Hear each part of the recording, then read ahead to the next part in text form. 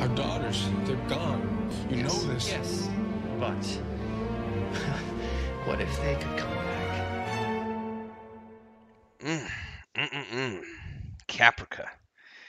This is another one of those shows that unfortunately got canceled before it really got a chance to take off. But we did get the beginnings, the inklings of a world spanning, universe spanning plot line that was following in the footsteps of everything epic that Battlestar Galactica the Reimagined series had kicked off. Now, I've only done the watch through of this one time in the past. I would totally be down for another watch through. Um, so when I'm doing the review today, I'm going to be doing some of this based on memory, others based on the wiki. We're going to be diving into some things here as I remember it, and then probably I'll schedule a watch through at some point in the near future, and we'll see where we can go from that. Maybe do some commentary on additional episodes. And I have monsters behind me, so we'll see if if they end up interrupting the the video recording at any point. In any case, if this is your first time here, this is where I get to say things like this. Welcome aboard. Hopefully you like the video. If you do, don't forget to smash that like button, subscribe to the channel, and hit the bell icon so you get updates like this in the future. Don't forget if you want to support the channel, you can also do so via a membership. You can click that join button down below and join the Adventurers Guild. You can also drop a super thanks on the video and do it that way. And if you want to go above and beyond, you can always join the Patreon page which is that world map. We'll talk about it at the end, though. So without further ado, let's get into Caprica. So if you have never watched the reimagined Battlestar Galactica from the early aughts, uh, it's it's up there. I literally called this my favorite science fiction show of all time uh, when I reviewed it here a few weeks ago on my YouTube channel. So if you haven't watched that episode, make sure to check it out. Um, I do have a playlist here called Best Science Fiction TV Shows. I think that's what it's called. Anyway, check that episode out because I really do think the reimagined Battlestar Galactica is the best sci-fi show of all time, in my opinion. The follow-up to this was called Caprica. Um, now, this is a prequel series that was set 58 years before the destruction of the 12 colonies of Kobol. And this focuses on the planet of Caprica, the aforementioned eponymous main planet of the 12 colonies. Is it eponymous?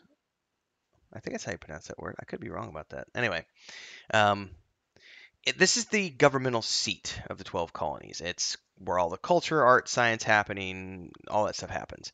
Um, this is also where the Cylon androids were first created, and this is where everything starts.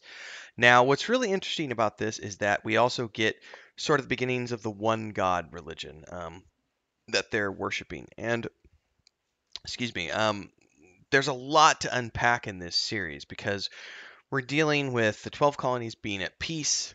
There's religious, religious fanaticism that's bringing together uh, Joseph Adama, who's a criminal. He's a lawyer, but he's got some ties with like the mafia. Um, and then there's the technologicalist Daniel Greystone, both of whom have lost family members in the, the chaos here.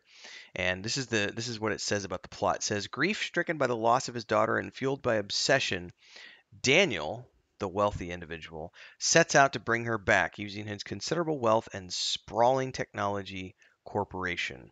Offered the chance of his own daughter being restored, Joseph wrestles with the notion until he comes face to face with its reality, meaning an android. So, there's some really, really, really interesting stuff that's going on in this series, especially with the sort of terrorism going on that's being described, with the religious aspects of this. Um, in any case. Um, Ronald D. Moore had this to say um, in the fact that Caprica was diff- significantly different from the parent season. He says, You don't try to repeat the form, formula. Everything about Caprica was designed specifically to not repeat what we had done with Galactica. And um, I can say that this show is a lot different in terms of everything because you're not dealing with a post apocalyptic setting at this point. You're dealing with a thriving population with 12 planets. So they had to create the culture and the religion and the language and the science and everything else. And that's what makes this show so unique.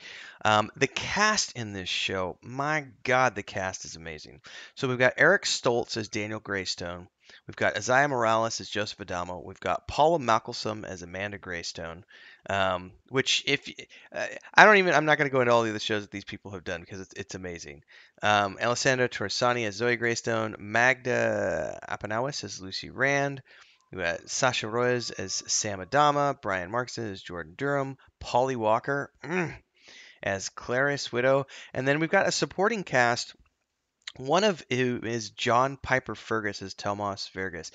John Pyper Ferguson, man, this dude is a Canadian actor who I have I love everything he's in. This guy, I remember the first movie I ever saw him in was this cheesy like martial arts film called Drive from back in like I want to say the late 90s, early 2000s and he kind of played the long-haired villain in that film and I've loved him ever since. He he could do no wrong in my book and I love the fact that he showed up in in this show. Um, but we've got just an amazing cast of characters. Um, if you go through the supporting cast, Patton Oswalt's on here. We've got um, Brian Markinson, Luciana Carro, um, who did Battlestar Galactica as well in Falling Skies. Just tons and tons and tons and tons and tons of amazing people and amazing cast in here. So, um, the uh, also Bear McCreary returns as the uh, composer for this show. So this was before Bear McCreary got really big. Like he made his name with Battlestar Galactica, and then he went on to do um, to serve as the composer for Caprica. Um, it just if you've never heard of Bear McCreary or you think you've never heard of Bear McCreary, think again because this guy, everything he touches turns to gold, and and he's involved with a lot of stuff these days. You know, he's you know, the the Walking Dead theme, Black Sails theme, Outlander theme, God of War soundtrack. Um, uh, what am I thinking else? Uh, there's other stuff. Oh, the new Masters of the Universe show. Like this guy has his fingers in all sorts of pies, and he cut his teeth on Battlestar Galactica and Caprica. So what was really unfortunate to me is seeing how Caprica was canceled after only the first I mean hadn't even finished the first season run before it was pulled due to low ratings. And what really frustrates me is because this was before we got into the era of streaming, where shows these days um, can have a much smaller audience, and yet the networks will continue to air them because you might not be getting all of the you know all of your views up front when it's airing you're going to be getting a lot of that in playbacks later on after the fact because in the streaming area it doesn't matter when people watch it as long as people are watching it and so i feel this show was sort of the the curse of this was it was right at the end of that live tv era DVR was a thing, of course. Um, I remember watching both Battlestar Galactica and Caprica um, on DVR, watching them after the fact. But streaming hadn't yet kicked in, so we didn't have this phenomena of watching shows a week, two weeks, three weeks later. You know what I mean? And still capturing those numbers. Um, again, this is, you know, kind of a how do I explain this? It's it's definitely dark, but I love the fact that we have like the criminal underworld going on, the mafia going on at the same time as this religious fanaticism going on with I think that's the soldiers of the one. Um, I can't remember exactly how that works. Um, I was just watching a trailer before this, which is the only reason that name's even in my mind. Uh, but I, I'm really inspired now. I want to go back and rewatch this because there's so much that I that I don't remember about this. Um, but it talks about the outline here. Um, it says, whereas the dark post-apocalyptic reimagined Battlestar Galactica revolved around a final struggle for survival, Caprica was concerned with a world intoxicated by success. Ronald Moore stated, it's about a society that's running out of control with a wild-eyed glint in its eye. The 12 colonies are at their peak, self involved, oblivious, ambitious, and mesmerized by the seemingly unlimited promise of technology. Framed against the conflict between the Adamas and the Greystone over the resurrection of loved lost ones in an act of terrorism, the series was meant to explore the ethical implications of advances in artificial intelligence and robotics. And this show also focuses much more on urban locales rather than space, and you've got corporate, political, familial, and personal intrigue going on, similar in approach to a Greek tragedy, as it is written here on the page, with wealth, corporate intrigue, and troubled relationship between two families at its center. He said, Moore himself likened Caprica to the 1980s primetime soap opera Dallas in space. Um, and obviously, this was a story arc format show, so we had a story arc over the show. Now, um, it did eventually get 19 episodes, so you get a pretty good run if you go and watch them through in their entirety. Um, but the way the show aired, it was very unfortunate because we had the extended version of the pilot that be- I watched it as a digital download. Um, and then from there, it ran for nine episodes, including the pilot, before it went on a mid-season hiatus, which also is something that kills shows in my mind, or it used to kill shows.